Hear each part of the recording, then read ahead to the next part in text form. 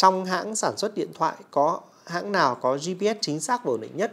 Thực ra là trong tất cả những cái um, chiếc máy mà mình đã từng sử dụng thì chưa có chiếc nào là mình phàn nàn về GPS cả.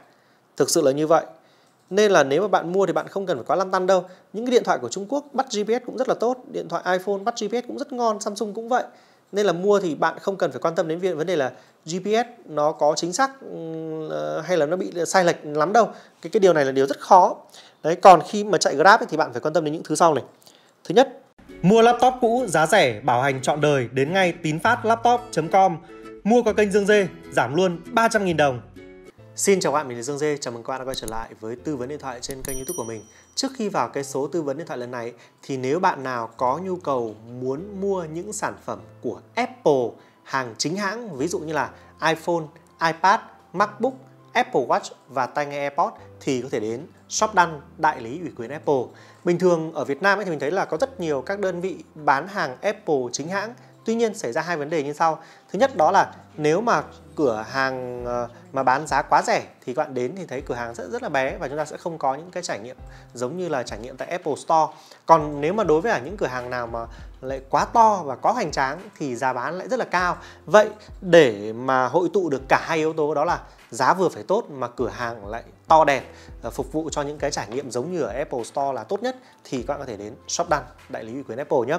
Hiện tại thì Shopdan đang có cái chương trình sale off cho những bạn nào mà mua từ ngày mùng 6 cho tới ngày mùng 8 tháng 3 đấy, mua làm quà cho những người phụ nữ thân yêu của đời mình đấy, thì ờ, họ cũng sẽ có ờ, những cái voucher tặng để giảm giá cho các bạn lên tới là 500 nghìn. Ngoài ra nữa thì cái bảng giá mới từ ngày mùng 6 cho tới ngày mùng 8 tháng 3 tại shop đăng hiện tại đang là rẻ nhất ở trên thị trường bây giờ. Các bạn có thể nhìn thấy ở trên hình luôn, bạn dựng video đã hiển thị cái bảng giá đó để các bạn có thể tham khảo qua. Đấy, các bạn có thể, ngoài việc mua iPhone ra, các bạn có thể mua Apple Watch để tặng cho bạn gái chẳng hạn. Hoặc biết đâu, thấy bạn gái phải làm việc online ở nhà vất vả quá, chúng ta lại mua cho bạn gái một cái MacBook đi để cho bạn gái có thể thoải mái hơn hay, hay mua cho bạn gái một cái tai nghe. Đấy kiểu kiểu như vậy. Rất nhiều đồ công nghệ các bạn có thể mua. Ngoài cái việc là à, mua cho bạn gái bông hoa hay là mua cho bạn gái thỏi son thì đồ công nghệ giá trị như này sẽ có thể khiến cho bạn gái của bạn hạnh phúc hơn trong ngày mùng 8 tháng 3 đó, hoặc có thể là vợ hoặc mẹ chẳng hạn. Rồi thế còn bây giờ thì chúng ta sẽ đến với những câu hỏi chi tiết của ngày hôm nay. Câu hỏi đầu tiên đến từ bạn anh Hiếu Vlog Hiếu Entertainment. Bạn hỏi là theo anh Dương thì flagship của Oppo Xiaomi, OnePlus thì hãng nào đỉnh hơn? Em có tầm 20 triệu mua flagship nào của ba hãng đó được ạ? À, nhu cầu phục vụ tốt mọi mặt. Thực ra là cả ba hãng này thì mình đều rất là thích. Đấy, nếu mà là Oppo thì mình thích ở đây là cái gì? Thứ nhất đó là mình mình thích cái ờ, cái cái camera của nó. Thứ hai nữa là mình thích cái sạc nhanh của nó. Đấy và cái thứ ba nữa đó là đối với cả Oppo thì mình thích hiện tại nhân là mình thích cái ColorOS của nó với các cái thao tác cử chỉ mà mình đã sử dụng quen rồi. Ngày xưa thì điện thoại Oppo với những cái sản phẩm cấu hình thấp ý, thì nó nó mang lại những trải nghiệm rất tệ đối với cả ờ, hệ điều hành ColorOS bởi vì nó khá nặng. Nhưng mà đối với cả những sản phẩm flagship thì mình lại thích cái kiểu của ColorOS hơn vì mình có thể sử dụng được nhiều tính năng của nó hơn. Đối với cả Xiaomi thì mình có ấn tượng đấy là nó được hỗ trợ cập nhật các thứ lâu dài và cái MIUI của nó cũng rất, rất là dễ sử dụng.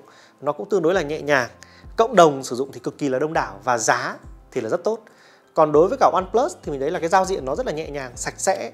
OnePlus thì có một cái giao diện tương đối là hiện đại và những sản phẩm OnePlus thì nó cũng có một cái sạc khá là nhanh và camera của OnePlus cũng rất là đẹp. Đấy, nhưng hiện tại ở Việt Nam bây giờ nếu mà để lựa chọn flagship của ba hãng này thì mình nghĩ là thời điểm này mình sẽ mua cái chiếc Xiaomi Mi 11 bởi vì sao? Bởi vì Mi 11 hàng chính hãng, phiên bản RAM 8 bộ nhớ trong 256 một số cửa hàng họ đang bán mức giá là khoảng trên 17 triệu đồng mà thôi và thậm chí là mức giá này nó chỉ ngang với cả mức giá của một con Oppo Find X2 mà thôi. Oppo Find X2 thì lại là một sản phẩm hàng hàng của năm ngoái rồi. Còn đối với cả OnePlus thì hiện tại là bán ra ở Việt Nam mình mới thấy là có OnePlus 8 Pro. Uh, còn hình như là cũng chưa có sản phẩm nào mới hơn để về Việt Nam thì phải. Vậy nên là với cái mức giá bây giờ và với những cái trải nghiệm cho ra ở trên Xiaomi Mi 11 hàng chính hãng bây giờ thì thì với mức giá khoảng 17 triệu thì mình nghĩ là mình, mình sẽ mua Xiaomi Mi 11 đấy, đấy là cái um, ưu tiên của mình thời điểm này. Còn tất nhiên mỗi hãng thì nó có đều có những ưu nhược điểm riêng rồi và mình cũng uh, vừa mới kể ra hết cho các bạn rồi đấy. Chúng ta sẽ đến với câu hỏi tiếp theo của bạn uh, Mai Nam bạn hỏi là anh nghĩ sao khi mua iPhone 11 thời điểm hiện tại? Mong anh tư vấn chúc anh và gia đình sức khỏe. Thực ra là mua uh, iPhone 11 ở thời điểm hiện tại mình thấy là cũng là một cái sự lựa chọn hợp lý bởi vì sao bởi vì là mức giá của iPhone 11 bây giờ nó chỉ nhỉnh hơn iPhone 10s Max một tí thôi uh, nếu mà xét ở trên tham chiếu hàng cũ hàng mới bây giờ thì 10s Max không còn nữa rồi nhé chỉ còn hàng cũ thôi thì cái iPhone 11 nó chỉ hơn iPhone 10s Max khoảng 1 triệu và với mức giá trên lệch khoảng 1 triệu đó thì mình thấy là iPhone 11 sẽ um, sẽ sẽ có một cái hiệu năng tốt hơn, có camera ngon hơn và có pin trâu hơn. Ba cái điểm đó là ba điểm rất quan trọng ở trên điện thoại rồi. Còn tất nhiên iPhone 10s Max thì nó sẽ hơn ở cái chỗ là màn hình của nó đẹp hơn và và cái khung viền nó khung viền thép nhìn nó sang trọng hơn. Nhưng mà trải nghiệm thực tế thì iPhone 11 là trải nghiệm thực tế ngon hơn là iPhone 11 Max. Đấy là còn chưa kể là hỗ trợ lâu dài hơn. Nên là nếu bạn chỉ thích iPhone thì iPhone 11 sẽ là sự lựa chọn rất tốt ở thời điểm này. Và mua iPhone 11 ở thời điểm này mình nghĩ là cũng rất hợp lý thôi. Còn um, nếu mà so sánh iPhone 11 với cả những cái sản phẩm khác ở cao hơn ví dụ như iPhone 12 hay là uh, iPhone 12 mini thì cái giá bán của iPhone 1 kể cả hàng mới bây giờ nó cũng rất là rẻ rẻ ở đây là gì? Nghĩa là rẻ so với những sản phẩm iPhone 12 và iPhone 12 mini. Nghĩa là cái khoảng cách giá nó vẫn đủ lớn để cho mình có thể lựa chọn iPhone 11 được. Nên là thời điểm này vẫn có thể mua iPhone 11 cả mới lẫn cũ chúng ta sẽ đến với câu hỏi tiếp theo của bạn Tân Duy. Bạn hỏi là anh nghĩ sao về việc mua hàng online qua các shop? Mong anh phân tích. Chúc anh nhiều sức khỏe. Mua hàng online uh, nếu bây giờ uh, chúng ta mua hàng online thì cái vấn đề chúng ta lăn tăn nhất là ở đây là gì? Đấy là chúng ta không được đến cửa hàng để sờ trực tiếp vào điện thoại để xem xem là điện thoại nó như thế nào trước khi quyết định mua Đấy. Chúng ta sẽ lên trên mạng chúng ta xem các review đánh giá về điện thoại này, xem người dùng đánh giá về điện thoại này như thế nào và xem hình ảnh cái thứ như nào. Nhưng mà chúng ta chưa được nhìn cái thực tế ở bên ngoài cái chiếc điện thoại này nó như thế nào. Đấy thì đấy là một cái trải nghiệm khác biệt đấy nhá thứ hai nữa mua hàng online thời điểm này nó sẽ an toàn hơn là mua hàng uh, offline bởi vì là uh, đến cửa hàng mà rồi là tiếp xúc với nhiều người thời điểm dịch bệnh này mình không thích lắm. Đấy. Nhưng mà cái nhược điểm của online là gì? Đấy là nếu mà uh, bảo hành thì các bạn sẽ phải gửi lại cửa hàng sẽ mất công vận chuyển đi vận chuyển lại nó mất thời gian ra. Và thêm nữa đó là mua hàng online thì chúng ta sẽ phải chờ đợi thì mới có hàng được. Chứ còn ví dụ như mua hàng offline đến trực tiếp cửa hàng thì chúng ta chỉ việc sách máy là chúng ta mang về thôi. Còn mua hàng online thì chúng ta phải chờ đợi đấy thì đấy là những cái cái cái khác biệt. Và mua hàng online có thêm một cái điểm nữa đó là nếu các bạn mua ở những cửa hàng uy tín thì không sao nhé mặc định mua hàng chính hãng mới 100% thì không vấn đề gì cả. Ví dụ như mua tại Shopee mua hàng online thì tuyệt đối thì tuyệt đối không vấn đề gì cả. Nhưng nếu các bạn mua hàng uh, online theo cái kiểu là ở uh, mua trên Shopee mua trên Lazada hay là mua lại của người dùng hay mua của những cửa hàng không uy tín chẳng hạn thì sẽ um, tương đối là là là là là mệt mỏi nếu mà xảy ra vấn đề về bảo hành. Đấy mình chỉ có lăn tăn vấn đề đó thôi chứ còn lại thì bây giờ là cái xu thế của mua hàng online rồi mua hàng online trong năm vừa rồi là lên ngôi rất là kinh khủng. Shopee hay các thứ là, là rất là là phát triển trong cái năm vừa rồi vì covid mà mọi người ở nhà nhiều mọi người mua hàng online cũng rất là nhiều luôn. Thì mua hàng online là xu thế rồi. Nhưng hãy trang bị cho mình đủ kiến thức để đi mua hàng online một cách tốt nhất để làm sao chúng ta khi đi mua hàng về chúng ta cảm thấy vui vẻ với những món đồ chúng ta mua chứ không phải là cảm thấy tức tối khi mà với những món đồ chúng ta mua. Nhưng chính ra là mua hàng online với điện thoại thứ khi nó lại dễ. Cho mua hàng online với cả quần áo nữa còn có cả là ở ờ, về mặc nó có vừa hay không này nó có hợp với mình hay không này. Đấy có cần phải đổi lại đổi trả hay không này. Còn mua điện thoại cái thứ là form phía cái thứ là có ở trên mạng hết rồi. Đúng nào? Chúng ta sẽ đến với câu hỏi tiếp theo của bạn. Sanchu NPP bạn hỏi là em đang xài Note 9 không chơi game chỉ có nhu cầu giải trí sạc nhanh trên 33W bộ nhớ trên 128 đền 128 GB đấy bạn ạ chứ không phải 128 MB đâu. Màn hình 2K và có 5G khoảng giá 12 đến 15 triệu. Nếu thế này thì mình nghĩ là bạn nên mua một con Samsung Galaxy Note 10 Plus 5G đây là chiếc điện thoại uh, rất tốt để cho bạn có thể phục vụ cái nhu cầu giải trí bởi vì là nó có loa ngoài là loa kép nó có màn hình 2K hiệu ứng thị giác cho ra trên màn hình cong là rất tốt và màn hình của nó lại là màn hình lớn nữa. Sạc nhanh thì nó có hỗ trợ sạc nhanh lên tới là 45W nó có bộ nhớ trong tối thiểu đã là 256GB rồi màn hình của nó là màn hình 2K và nó sẽ có 5G Đấy thì Samsung Galaxy Note 10 Plus 5G sẽ là chiếc điện thoại phù hợp nhất với bạn bởi vì hiện tại bạn đang sử dụng một cái Galaxy Note 9 rồi thì cái việc update lên Note 10 Plus 5G sẽ là một cái sự update mình nghĩ nó rất là hợp lý thôi. À mà còn có thêm một cái cái sản phẩm nữa mà mình nghĩ cũng rất là hợp lý. Đấy là Samsung Galaxy S20 Ultra. Đấy, S20 Ultra thì thì nó cũng đáp ứng được tất cả những nhu cầu kia của bạn, thậm chí là hiệu năng của nó còn ngon hơn và camera của nó còn tốt hơn so với cả Note 10 Plus cơ thì bạn cũng có thể tham khảo qua S20 Ultra nữa nhé tầm giá của S20 Ultra thì nó sẽ rơi vào khoảng uh, trên dưới 15 triệu còn tầm giá của Galaxy Note 10 Plus 5G thì nó sẽ rơi vào khoảng trên dưới 12 triệu. Như vậy thì bạn sẽ xem xem là bạn sẽ um, có một khoảng giá nó rộng như này thì bạn sẽ sẽ xem là bạn cố lên đến tầm nào thì bạn sẽ chốt cái tầm giá đó thôi. Đấy nhưng còn nếu mà lên được S20 Ultra 5G thì sẽ tốt hơn. Chúng ta sẽ đến với câu hỏi tiếp theo của bạn Hoài Thu Nguyễn Thị bạn hỏi là mình chạy Grab bạn cho mình hỏi trong hãng sản xuất điện thoại có, hãng nào có GPS chính xác và ổn định nhất? Thực ra là trong tất cả những cái um, chiếc máy mà mình đã từng sử dụng thì chưa có chiếc nào là mình phàn nàn về GPS cả. Thực sự là như vậy. Nên là nếu mà bạn mua thì bạn không cần phải quá lăn tăn đâu. Những cái điện thoại của Trung Quốc bắt GPS cũng rất là tốt, điện thoại iPhone bắt GPS cũng rất ngon, Samsung cũng vậy nên là mua thì bạn không cần phải quan tâm đến việc vấn đề là GPS nó có chính xác ừ, ờ, hay là nó bị sai lệch lắm đâu. Cái cái điều này là điều rất khó. Đấy còn khi mà chạy Grab ấy, thì bạn phải quan tâm đến những thứ sau này. Thứ nhất đó là nên mua những điện thoại nào mà nó có pin trâu. Thứ hai nữa là nên mua những điện thoại nào mà sóng sánh nó ổn định. Đấy, ờ, uh, Vsmart thì sóng sánh nó không ổn định lắm đâu nhưng mà thường là các bạn sẽ ra những ngoài ngoài trời cái thứ thì sóng sánh Vsmart vẫn bắt được chứ không đến mức độ là sóng yếu. Đấy.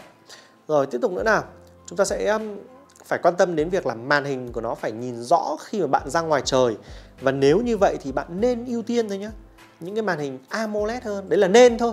Chứ còn nếu mà bạn không có ví dụ như cái màn hình AMOLED đó nhưng mà điện thoại giá nó cao thì thôi chúng ta bỏ qua cũng được màn hình IPS cũng được không vấn đề gì cả. Đấy nhưng mà pin phải trâu này. À, có uh, có có một cái màn hình AMOLED để nhìn ngoài trời nó rõ ràng hơn này.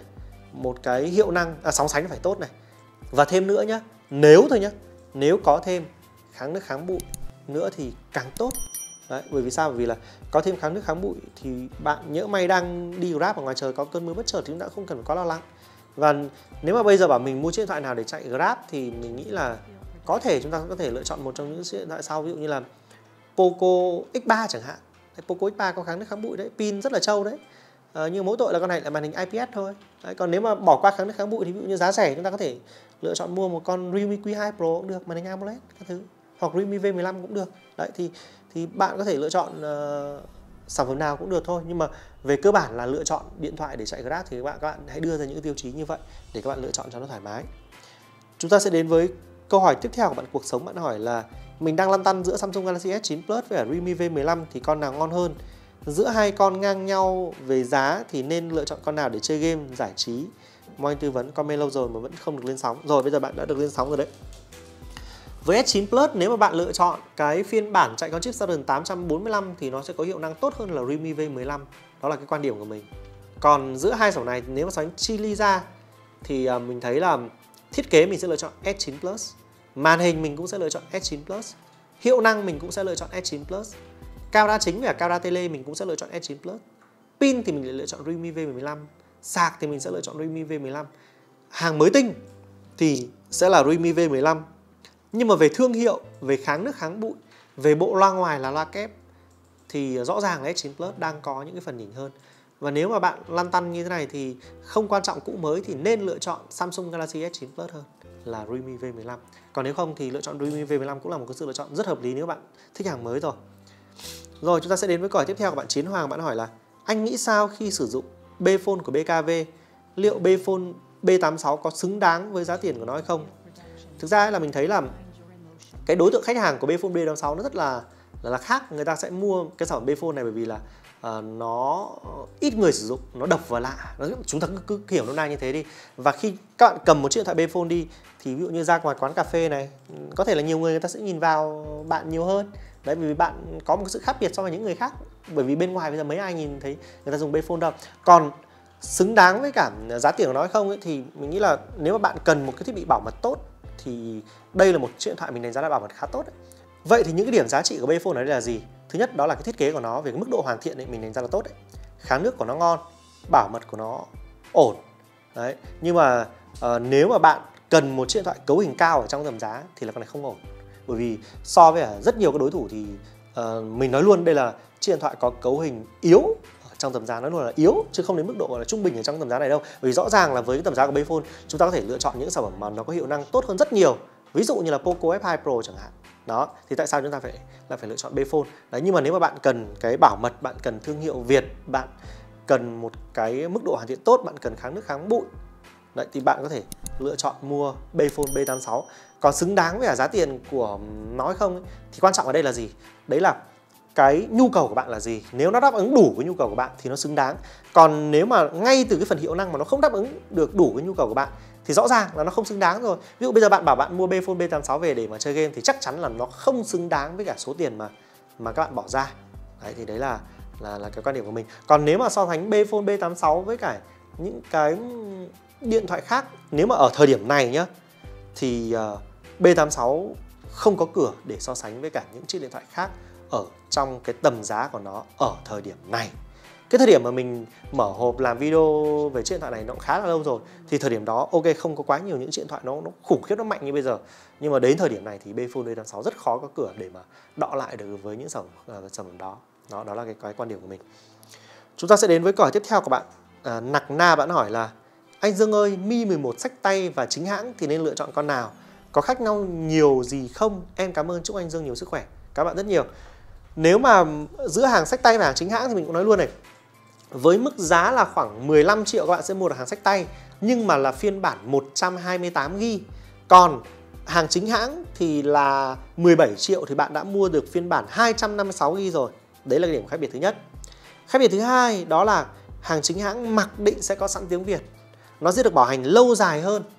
Đấy đấy là hai cái điểm khác biệt mà mình nghĩ là rất là lớn giữa hàng sách tay với cả hàng chính hãng như thế này thì thời điểm hiện tại nhá, với một cái mức chênh lệch giá không nhiều như thế mà được bộ bên trong cao hơn hẳn được tiếng Việt, xong rồi được cái cái cái bảo hành tốt, thì mình nghĩ là mình sẽ ưu tiên mua hàng chính hãng ở thời điểm này hơn. Đấy là quan điểm của mình. Rồi, và như vậy là câu hỏi vừa rồi cũng là câu hỏi cuối cùng kết thúc số tư vấn điện thoại ngày hôm nay. Cảm ơn các bạn rất nhiều vì đã dành nhiều thời gian theo dõi video Dương Dê còn bây giờ thì xin chào và hẹn gặp lại.